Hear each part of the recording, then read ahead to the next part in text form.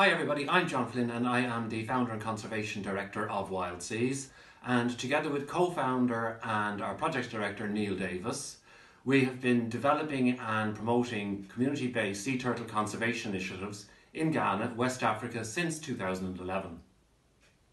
Initially our work in Ghana involved patrolling a nesting beach so we could protect sea turtles and their eggs from poachers within local communities.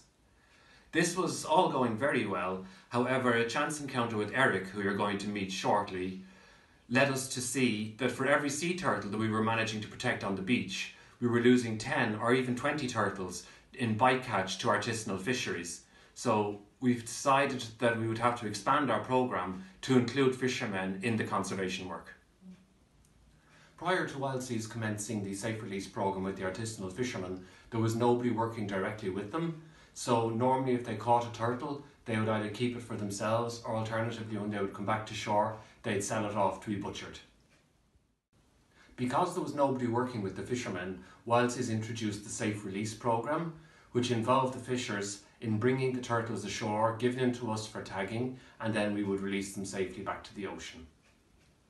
So without the help of these fishermen, we would basically be putting in a huge amount of legwork and not achieving an awful lot which is not what we wanted.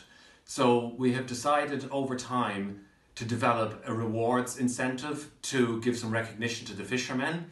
And you're now going to see the opening of the inaugural rewards program that is run by Eric, who we've already mentioned. And he is assisted by Enoch, who's the head of anti poaching, along with George, who's one of our community members. Being here today with us, I'm Eric Quasi from WASI's organization with my two colleagues from Jomoro. They are the anti-poachers of WASI's organization.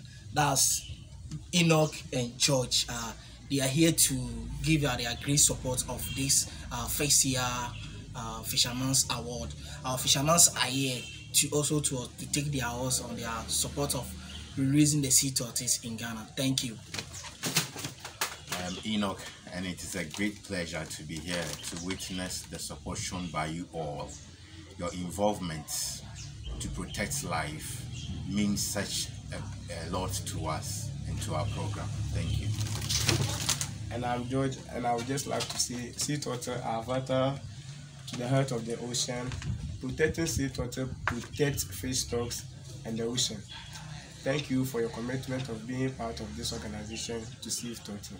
Thank you. Together with our teams, coordinators, all the fishermen who participate to make difference and save life. The ocean gives us so much. Therefore, we must protect and give back to the ocean. Working together, we can ensure a better future for all. Thank you, everyone.